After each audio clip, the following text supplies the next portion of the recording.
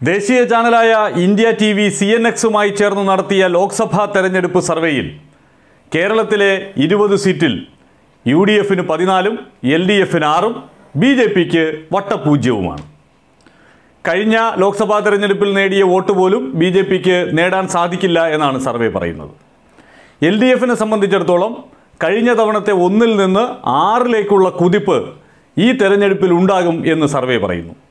നേരത്തെ പുറത്തു വന്ന ദേശീയ ചാനലിന്റെ ലോക്സഭാ സർവേയിലും എൽ ഡി എഫിന് അഞ്ചു സീറ്റുകൾ അവർ പ്രവചിച്ചിരുന്നു. അതായത് കഴിഞ്ഞ തവണ പത്തൊൻപത് സീറ്റ് നേടിയ യു ഡി എഫിന് ആ ആധിപത്യം ഇക്കുറി നിലനിർത്താനാകില്ല എന്ന് ഈ സർവേകൾ രണ്ടും ചൂണ്ടിക്കാട്ടുകയാണ്.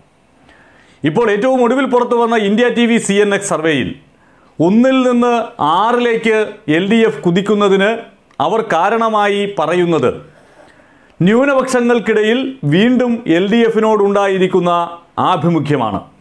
ഏകീകൃത സിവിൽ കോഡ് അടക്കമുള്ള വിഷയങ്ങളിൽ ന്യൂനപക്ഷങ്ങളോടൊപ്പം കരുത്തോടെ നിൽക്കുന്നത് എൽ ഡി എഫ് ആണ് എന്ന ഒരു പ്രതീതി ഉണ്ടാക്കിയെടുക്കാൻ തുടക്കത്തിലെ സി പി എമ്മിന് തെരഞ്ഞെടുപ്പ് സർവേ ഫലം പുറത്തുവിട്ട ചർച്ചയിൽ പങ്കെടുത്ത പ്രമുഖ രാഷ്ട്രീയ നിരീക്ഷകരെല്ലാം ചൂണ്ടിക്കാട്ടിയത്.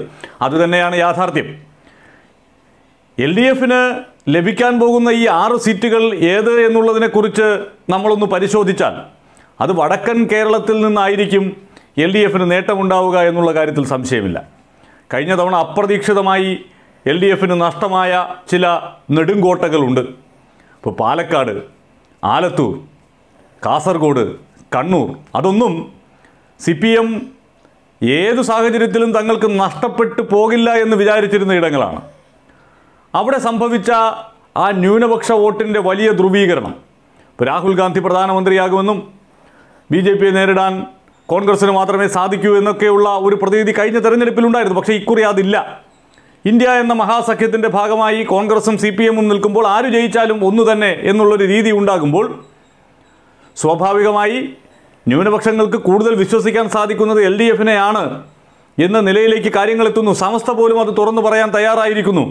ആ നിലയ്ക്ക് ന്യൂനപക്ഷങ്ങളുടെ ഒരു ഷിഫ്റ്റ് സംഭവിക്കുമ്പോൾ ഈ പറഞ്ഞ വടക്കൻ കേരളത്തിലെ മണ്ഡലങ്ങളിൽ വലിയ മാറ്റത്തിന് സാധ്യതയുണ്ട്. ഇപ്പോൾ കാസർഗോഡ് രാജ്മോഹൻ ഉണ്ണിത്താൻ അവിടെ വലിയ ഇടപെടലുകൾ ജനകീയമായി നടത്തിക്കൊണ്ടിരിക്കുന്ന ഒരാളാണ്. അത്ര പെട്ടെന്ന് രാജ്മോഹൻ ഉണ്ണിത്താനെ തോൽപ്പിക്കാൻ സാധിക്കില്ലെങ്കിലും അതൊരു എൽ ഡി എഫ് മണ്ഡലമാണ് എന്നുള്ളത് കൊണ്ട് തന്നെ അവിടെ ഒരു മികച്ച സ്ഥാനാർത്ഥിയെ അവതരിപ്പിച്ചാൽ ജയിക്കാമെന്ന് ഇടതുപക്ഷം കണക്ക് കൂട്ടുന്നുണ്ട് കണ്ണൂരിലും കെ സുധാകരൻ മാറി നിൽക്കുന്ന ഒരു സാഹചര്യം ഉണ്ടായാൽ എളുപ്പത്തിൽ ജയിച്ചു കയറാം എന്ന് സി പി എം കണക്ക് കൂട്ടുന്നു. ആലത്തൂരിൽ രമ്യ ഹരിദാസ് തന്നെ ഉണ്ടാക്കി വച്ചിട്ടുള്ള പൊല്ലാപ്പുകളുണ്ട്.